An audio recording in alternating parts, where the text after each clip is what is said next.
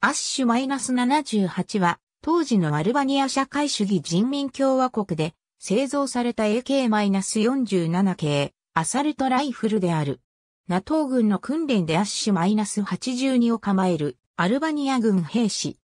重心の右側面には光線訓練装置のレーザー発信機が装着されている。アッシュ -78 は他の東ヨーロッパ製 AK-47 系アサルトライフルとは異なり、中華人民共和国製の56式自動フヤリを原型として開発された。AK-47 の派生型の中では遅くに開発された部類であり、当時のアルバニアが取った外交方針の影響を垣間見ることができる。アルバニア軍の主力小銃として輸入した56式自動フェアリと共に運用されてきたが、現在は ARX-160 や M4 カービン、VHS などによって更新されつつある。第二次世界大戦後のアルバニアは、アルバニア労働党の一党独裁制による社会主義政権が成立しており、強烈なスターリン主義者である労働党、第一初期エンベルホッチャの独裁政治のもと、新祖的な国家体制を築いていた。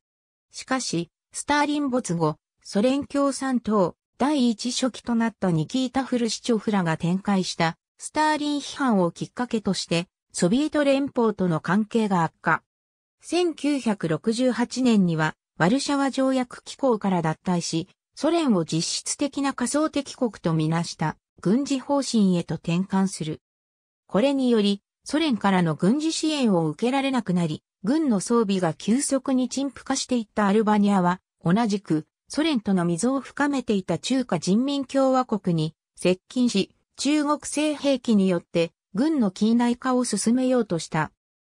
中国の支援によって56式半自動歩槍を国産化した。ジュライジュライフルの開発に成功した。アルバニアは1974年、中国からの輸入に頼っていた。56式自動歩槍の国内生産を計画するも、中国共産党が改革開放に向けて市場経済の導入へと政策転換したことで中ア両国の関係が悪化。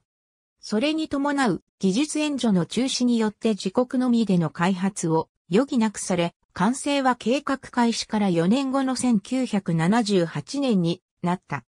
ハンドガード下に折りたたみ式スパイクバイオネットを備えているなど、基本的にはオリジナルである56式自動フィアリを踏襲しているが、外観上の多少の違いによって区別することができる。例を挙げると、等がある。ありがとうございます。